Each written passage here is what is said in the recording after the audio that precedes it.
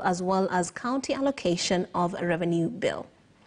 And also in politics, a section of elected legislators from 11 counties in the Mount Kenya region and allied to the Deputy President William Ruto have retreated for a three-day retreat in the Maasai Mara Game Reserve to finalize a list of demands to the Deputy President if he succeeds President Uhuru Kenyatta in 2022.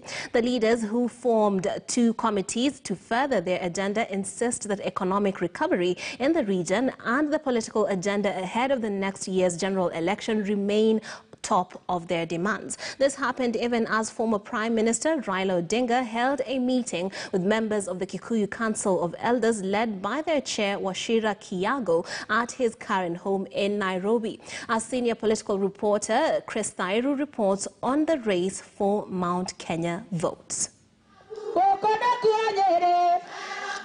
The scramble for the over 5 million votes from the Mount Kenya region ahead of the 2022 general election continue to take shape as elected leaders from the region and allied to the Deputy President William Ruto retreated for a strategy meeting. Close to 30 elected leaders started their three-day retreat at the Masai Mara Game Reserve to review some of their demands to the Deputy President. We want to do a two-part negotiation. One that will begin with economic revival, once we agree on the economic revival, then we can move to the next phase, which is the political interest. Who fits in? Is it uh, person A, person B? To push through the implementation of that economic revival agenda. The reason why we are negotiating with, with, with William Ruto is because he has a track record from his ministerial duties, from agriculture to higher education. According to the leaders, the region's economic standing has been eroded and brought to its knees in the last 20 years despite enjoying the position of the presidency. Their demands revolve around agriculture and infrastructure. It is not business as usual because it is usual business to sit here as politicians and negotiate with another political leader for political positions and for politics' sake. And what will be politically expedient to the candidate and even to us as political leaders. Tea and coffee farmers, to our traders and industrialists, have all suffered immensely under the supervised hands of monopolistic cartels, an unfair business environment, and business insensitive directives from this government. But leaders opposed to the deputy president dismissed the meeting, saying only President uru Kenyatta can negotiate for the populous region. If there is any person to negotiate on behalf of Mount Kenya, it can never be any other person. It can only be His Excellency Uhuru Kenyatta or a person appointed by him to act on his behalf. So any other person purporting to speak on behalf of Mount Kenya, uh, it's either misguided, uh, is a person who is looking for selfish interest, like what we have seen in that group. I said it before, I will say it again.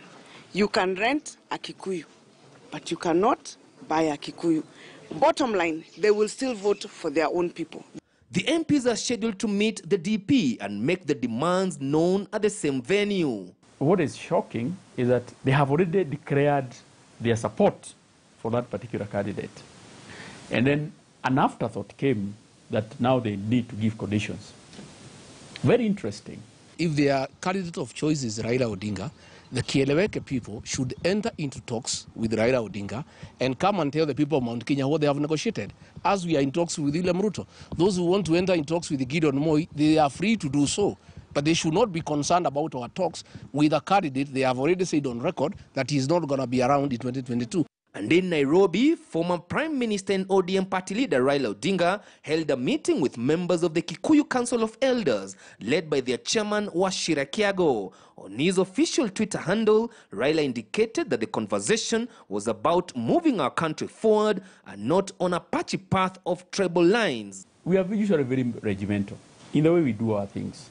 We have our leader, we have the Council of Leaders, and since time immemorial, before we engage or before the community engaged or undertaken any major activity, there is always consultation. People sit, agree, and in the morning they move as a team.